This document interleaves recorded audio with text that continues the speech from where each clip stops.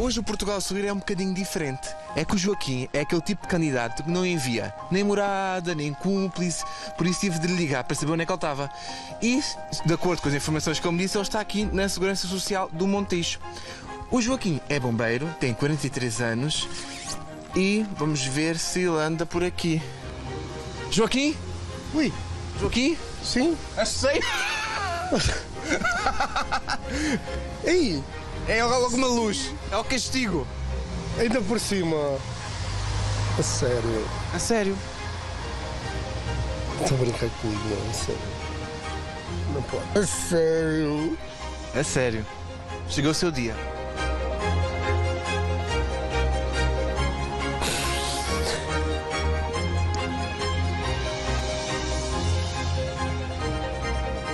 Esperou muito por isto?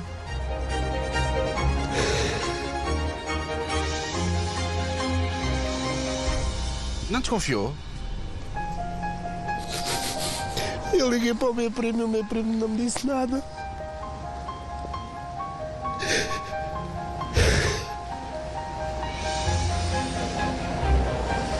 Vamos lá começar 2018 com um sorriso novo.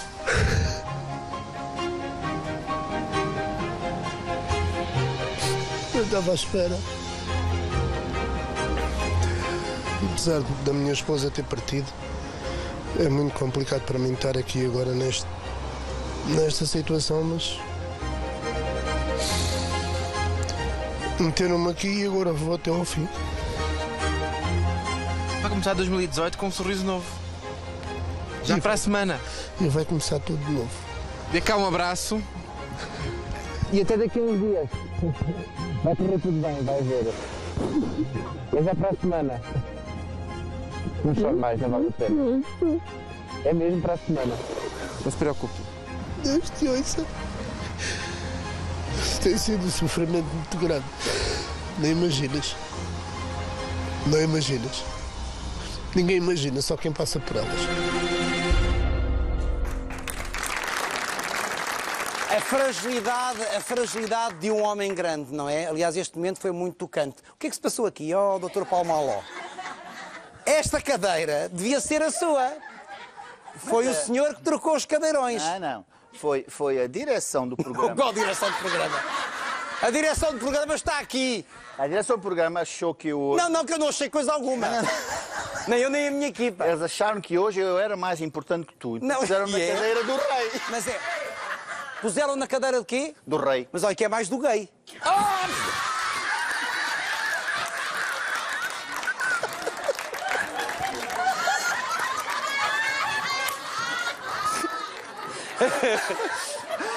Mas olha, deixe-me só dizer uma coisa: todos os dias, quem se senta desse lado é mais importante que os apresentadores. É verdade. Mais este lado. Não.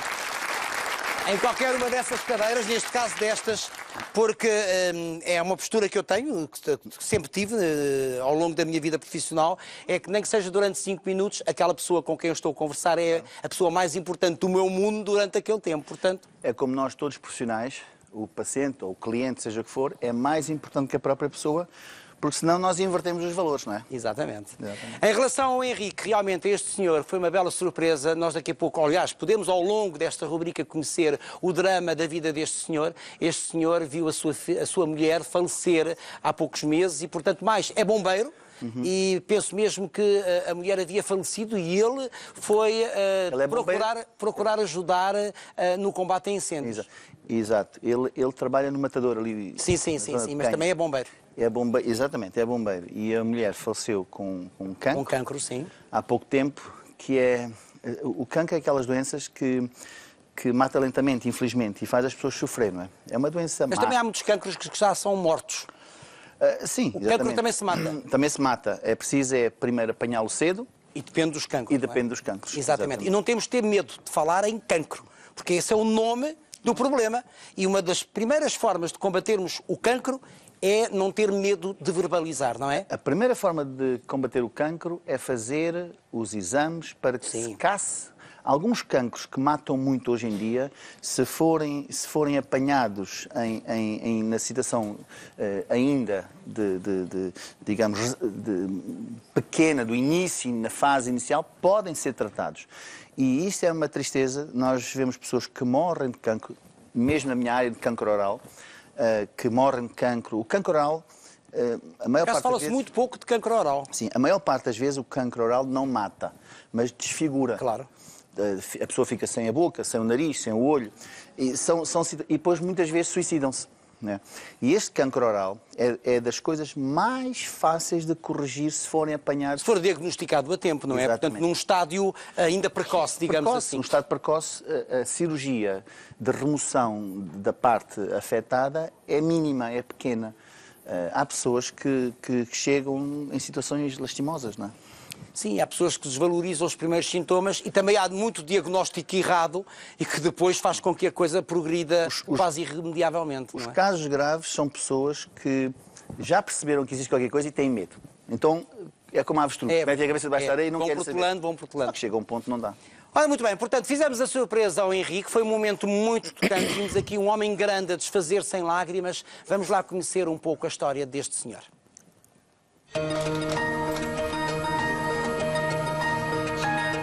Os meus problemas dentários começaram já há muitos anos. Começou desde que era criança ainda, quase nunca lavava os dentes. E então, entretanto, começou-se a degradar, talvez mais um relaxo que outra coisa.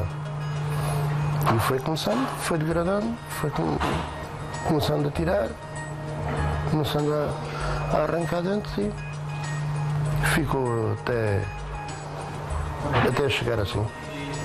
Eu comecei a a ter problemas dentários por volta dos 10, 11 anos. Mais coisa, menos coisa. Comia muito doce, era, era doce. Tinha pai 14 anos, quando comecei a arrancar. Já derivado de eles estarem podres. Iam apodrecendo e eu ia arrancando. E aos 18, salvo erro, já pus a, a prótese de cima. Eu uso a mesma prótese desde os 18 anos. Eu atualmente tenho nove dentes. É os que tenho. Eu tenho na parte de cima dois dentes e tenho o resto está em baixo. Tenho a certeza que vai mudar tudo. Muita coisa, muita coisa. Mas vai mudar. Porquê é que a dentição deste senhor chegou ao ponto em que chegou? Neste caso em concreto, um, Parece-nos, um, segundo a entrevista que nós fizemos com ele e também depois da observação que fizemos, parece que foi um caso típico de desleixo da, da saúde oral. Ou seja, ele não lavava os dentes, não, não, uh, os pais não criaram aquele, aquela rotina, aquele hábito. Que hoje em dia é criado. Que hoje em dia é criado, e já falamos aqui muitas vezes. E podemos voltar já... a falar, porque isto água mole em pedra dura. Exato, mas o... até que fura. E hoje em dia estamos a, também a criar o oposto. Saímos do 80 para o, para o 8. Que é o lavar, 80, é o lavar, que é lavar demasiado. Não é? Não é? Hoje em dia começamos a aparecer uh, pessoas com 45, 50 anos, já com a gengiva cortada, com os dentes desgastados, da escova de dentes da brutalidade da escova de dentes e daquela, daquela parvoíce que é cada vez que comes vais lavar os dentes, que isto é uma estupidez completa, não é? Portanto, quantas vezes é que os dentes devem ser lavados por dia? Vamos lá repetir essa informação. De manhã? Uma vez, os dentes têm que ser lavados, dentes e fio dental, tem que ser feito... Fio dentário. Fio dentário. Porque fio dental não dá jeito nenhum, que é aquilo que as meninas, que é aquilo que as senhoras usam é aquilo que as senhoras usam na praia, no Brasil, em Portugal também. Olha lá aí o teu fio dental e depois andamos ali. Se, se, tiver, se tiveres. Se tiver, há, há, pessoas que têm os dentes. No dia a dia, há muitas pessoas, eh, certamente que há aqui senhoras, não muitas, não muitas, mas por exemplo, há uma ou, há uma ou outra, não é? Que deve usar fio dental. Vamos Olha, ver, vamos ver. Vamos, vamos ver, vamos ver. Você é muito atiradiço. O que é que se passou hoje consigo? Não, não, não. Ah, foi, a, foi a direção do programa. Foi a direção. Ai, a direção do programa hoje tem as costas largas. Portanto, esta senhora é capaz de ter fio dental. Não vou dizer ó oh, Fátima, empresta aí o seu fio dental e ela. Se tu. Se tu, tiv... se tu fores uma pessoa que tem os dentes muito afastados, dá jeito. Até aquele. Ó oh, Fátima, empresta-me um fio dental. o fio dental. O fio dentário é essencial porquê? Porque vai buscar aqueles resquícios de comida que podem existir entre os A dentes. escova de dentes. Não chega lá. Não, a escova de dentes só lava por fora do dente. Mesmo aquelas, mesmo aquelas escovas XPTO que são publicitadas. Só lava por fora. Entre os dentes, a única maneira de lavar é com o fio dental. Não podemos usar o escovilhão. O escovilhão é perigoso. Sim, há escovilhões de vários tamanhos. Não- eu não estou a falar do escovilhão com que se lava a louça. Ou com que se desentope. Ah pá, mas o que é que vocês tomaram hoje de manhã? Com o Dr. Palmaló. Está tudo cá com... Está tudo despidado, como se costuma dizer. O escovilhão é perigoso. Ouçam, ouçam isto, que são conselhos úteis. Estamos a brincar, mas a fazer passar a mensagem. O escovilhão é perigoso. O escovilhão é perigoso. O palito é perigoso. Porque Mas vocês têm lá na Maló Clinic eh, escovilhões. escovilhões para as pessoas que têm o espaço entre os dentes. Ah, eu aqui tenho. As pessoas que têm os dentes normais nunca na vida devem usar um escovilhão, porque o escovilhão força, força o espaço e faz duas coisas. Gasta a gengiva, abaixa a gengiva e arredonda os dentes ao lado. Ou seja, corta os dentes. Nós temos pessoas em que, de tanto usar o palito e o escovilhão, O palito é um quase Ent- criminoso. Entre os dentes, entre os dentes tem, tem um espaço que encaixa perfeitamente o palito, especialmente os palitos redondos. Os palitos redondos é uma burrice completa. O espaço entre os dentes é triangular, não é redondo. Mas é Não. mais difícil fazer um Não, e o fio dentário vai mais rapidamente a sítios onde nem o próprio escovilhão vai, porque, por exemplo, entre as gengivas e os implantes, não é? Digamos, e portanto os dentes, quando usamos implantes, também tem que se passar, deve-se passar o fio dentário, não é? Os, os implantes já é uma higiene oral muito específica. à Mas, parte. não, mas independentemente da higiene oral, que, da higiene que tem que ser feita de seis a seis meses Ex- na clínica Não, Maló. mesmo a higiene Mas- oral diária Sim, tam- implantes é diferente. É, mas o fio dentário tem que ser usado, ou deve ser usado. mais a fita. Mais a fita dentária. Ah, é? A fita Olha, dentária. eu uso fio. Pois, mas a fita dentária é melhor do que o fio. Eu gosto pouco de fitas. Mas- A, a fita dentária é melhor do que o fio porque tem, uma- tem mais superfície. Pois tem, é? pois tem. Então passa, passa melhor. Imagina polir um, um sapato com fio ou com uma fita. É como a fita. É com uma fita. É como a fita. Onde isso já vai antigamente. Eu, ainda, eu, por vezes, ainda faço esse polimento. À antiga. Portanto, quantas vezes por dia se deve lavar os dentes? Uma vez que é o fio dental, o fio dentário. o fio dentário e a escova de dentes à noite antes de deitar e depois disso não pode fazer nada e depois pode fazer na, na- de manhã. Depois de Também. manhã temos a boca a saber mal, não é? Temos a boca a ser bem mal e também durante aquele período de tempo da noite criou-se placa bacteriana. Pois. Então convém lavar. Portanto, de manhã e à, à noite. noite. Muito cuidado à noite, porque à noite ainda há É resquícios então. de comida Exatamente. durante o dia. do- Durante o dia, durante o dia, não é verdade que tenha que se passar a escova de dentes. Pode-se passar a fita dental se houver alimentos Mas pode-se mascar uma pastilha sem açúcar. E Pode-se mascar uma pastilha Deve. açúcar, só faz bem. Ah, está a perguntar, a Fátima está-nos a perguntar, a Fátima, a senhora do fio, Do fio dental, dental. está-nos a perguntar se se deve lavar os dentes depois de tomar o pequeno almoço, o primeiro almoço. Ou antes. Eu, por acaso, faço antes. Eu lavo sempre os dentes antes, porque também. eu, eu acordo, se não lavar os dentes, não me sinto bem. Eu tenho que fazer duas coisas quando acordo: é tomar banho e lavar os dentes, senão isto não funciona. E fazer xixi. Não- já não ia entrar muito por esse caminho, não é? Mas, Eu também faço antes. Eu também faço antes, que eu quando saio É. da- do quarto e deixo, já, já mas se lava os dentes antes do pequeno almoço, depois de tomar o pequeno almoço, não é necessariamente eh, necessário lavar os dentes. Muito bem. Se a comida, se a comida tiver, se a comida prender entre os dentes, se for uma pessoa que em comida fica entre os dentes, pode passar a fita dental para não ter a comida com entre fio os dentes. dentário. Mas há pessoas que eh, a cada refeição têm por hábito lavar os dentes. Mas isso está errado. Está errado. Isso está errado. Aquela senhora, por exemplo, Pois. diz que sim, que é isso que faz Exato. três vezes, porque faz três refeições certamente substanciais. Isso está errado porque. Bem, e depois também depende de como é que a pessoa lava os dentes. Se é com uma escova dura, se é com uma escova mole, se, se fica ali a olhar para, para o cabelo e a lavar os dentes em vez. Portanto, e se faz um movimento muito grande. eh, Os dentes devem-se fazer movimentos pequeninos, é quase lavar os dentes um a um. Não é? Faça aqui e depois passa para da frente. Porque se fizer um movimento muito leva um grande, tempo. claro, mas se fizer um movimento muito grande, a escova toma balanço e a escova é uma lima, corta os dentes. Ora, vamos lá então ao dia da cirurgia do nosso contemplado com a iniciativa Portugal a Sorrir.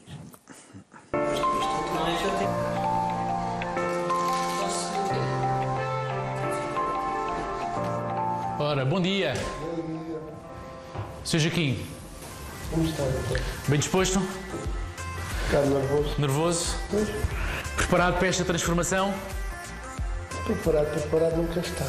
Tem que estar, tem que estar. Vamos, vamos avançar e vamos, e vamos pôr os dentes fixos hoje.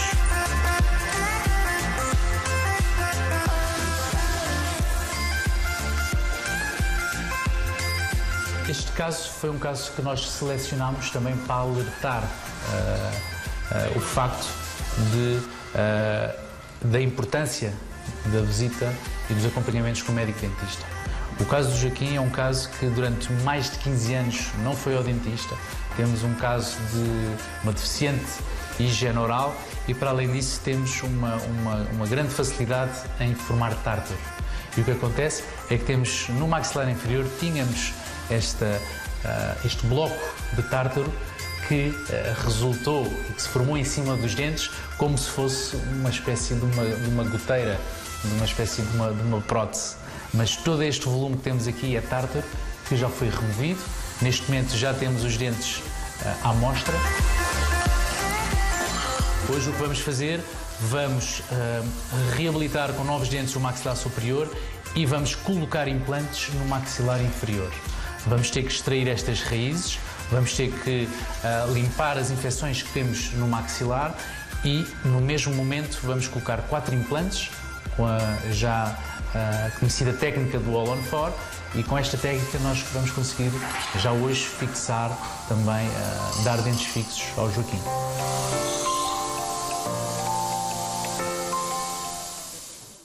Chamei este senhor de Henrique, mas pelos vistos é Joaquim. Também é parecido, também não errei por muito. Deve haver um Joaquim qualquer na documentação e no programa de hoje. Se não é de hoje, é da manhã que eu já estou a trabalhar com algum avanço. Ah, peço desculpa ao senhor Joaquim. Ah, é curioso porque, porque é aquela medição que se faz antes da intervenção. As pessoas que não têm dentes ou usam placas inteiras, Sim, as nunca, próteses. as próteses, nunca têm a dimensão certa, porque as placas vão se gastando e, para além disso, eh, quando as pessoas perdem os dentes todos e põem as próteses inteiras, as pla- chamadas placas de dentes, Sim. nunca se põe com a dimensão toda, porque ela fica mais instável. Quanto mais alta, mais instável. Como os carros. Os carros de corridas são baixos e largos. Então as próteses, para ficarem mais estáveis e não caírem da boca, fazem-se mais baixas. E então as pessoas ficam com a boca mais fechada. Mais assim. Exatamente. Então o que nós estamos a fazer ali é estamos a medir para pôr a boca, juntamente com a face, é um estudo que fazemos da face, para que, eh, para que fique daquilo que nós achamos que é o normal, porque já não temos, não temos referências, não é? E o normal aqui, é, é, o, o objetivo, e, e, portanto para atingir a tal normalidade, é que tudo fique harmonioso. Portanto, que Exatamente. os dentes fiquem em harmonia com a fisionomia. Exatamente, porque os dentes seguem, eh, seguem a fisionomia da pessoa. Ou seja, eh, as pessoas de pele clara têm dentes mais claros, as pessoas de pele escura têm dentes mais escuros. Embora as pessoas pensam que os africanos têm os dentes mais claros. Não existe. Os, os africanos têm os dentes amarelados. O que acontece é que o, que É o contraste das cores. parece mais branco. Exatamente. Eh, mas as pessoas de pele branca têm os dentes mais brancos gerais as pessoas, as pessoas de pele escura têm os dentes mais amarelados. E eh, o- as pessoas com o cabelo mais claro, com os olhos mais claros, influenciam os dentes. Para além disso, se a pessoa tiver uma cara redonda, o dente tem que ser mais quadrado. Se as pessoas têm uma cara mais estreita, o dente tem que ser mais triangular. Se é mulher, os dentes têm uma, uma diferença nos laterais.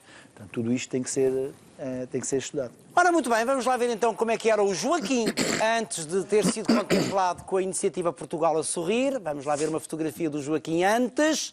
Assim era o Joaquim, e digo bem, era, porque agora já não é assim. Aí vem o nosso Joaquim!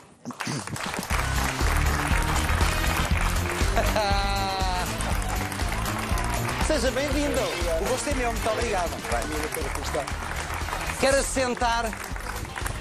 Então, Joaquim, como é que se sente? Para já, para já, eu vou pedir ao nosso realizador, antes de responder, que realmente ponha ali a sua fotografia antes dos implantes, para vermos agora com um sorriso seu. Não, eu queria que dividissem o ecrã para vermos a fotografia e agora o aspecto fantástico do Joaquim. É possível, Gonçalo? Portanto, vamos lá ver. Aí está. Olha ali para a frente, um grande sorriso. Ê, ê!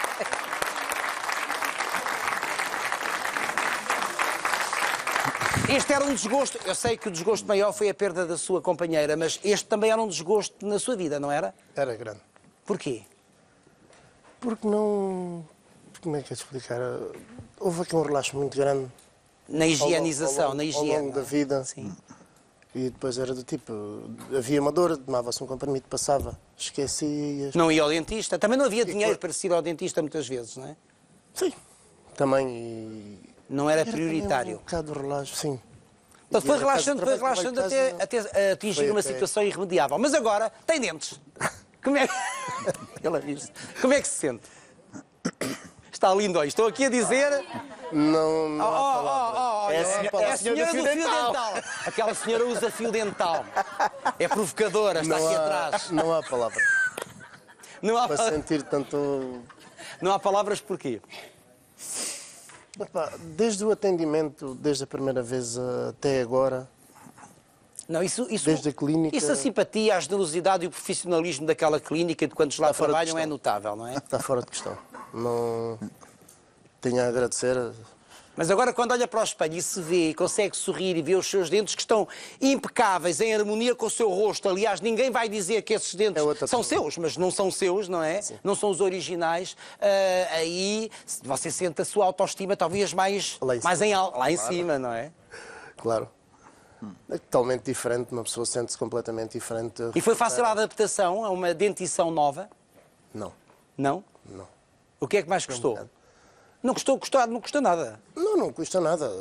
Custa, está a custar ainda eu começar a comer coisas mais sólidas. já pode comer tudo. Até, já trincou a maçã. E a língua? Isso acontece, isso ac- por acaso nós nunca falámos disso. Nós trincamos a língua e às vezes também trincamos um bocadinho aqui o lábio, por dentro. Exato. É, no- é normal? É normal. Porquê? É normal. É descoordenação. É descoordenação. É descoordenação. Pode ser. Estamos tão viciados, não Exato. Pode ser, na verdade, pode ser eh, a estrutura dos dentes que não esteja, não esteja correta. Mas as pessoas que não tiveram dentes durante muito tempo e, e usaram, e usarem, eh, usaram os próteses ou não, evidentemente perderam muito da coordenação. é? E à medida que vamos ficando cada vez mais velhos, vamos ficando mais descoordenados. Então morde-se cada vez mais a língua, o lábio não tanto, mas mais a língua. Assim como se cai, tropeça-se mais facilmente. Portanto, há uma descoordenação natural por, por? Cuidado é com as cascas de banana que nos as colocam à cascas frente. de banana. Mas é que o meu amigo também é um bocadinho descoordenado, até se troca nas cadeiras. Mas, mas não, escorre, não escorreguei nenhuma casca de banana. Deve ser da idade. Ó ó, Joaquim, o Joaquim passou aqui por uma dor muito grande. Certamente esta dor ainda não está amaciada porque foi há muito pouco tempo, perdeu a sua mulher, mas ficou com filhas, não foi? Duas meninas. Duas meninas, portanto, é pai presente a tempo inteiro e agora tem que cuidar de duas meninas com que idades? 16.